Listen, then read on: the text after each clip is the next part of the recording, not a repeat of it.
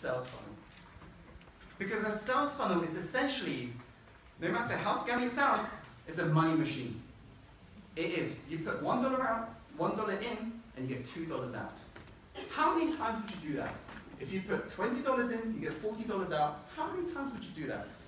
All the time. All the time. Would you do it whilst you're on the beach? Uh-huh. Probably, right?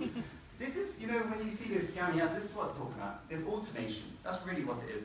And although some of their strategies I don't agree with because it's very clickbaiting, scammy, this is really what works, what we were being to you. Is that cool with you? Yes.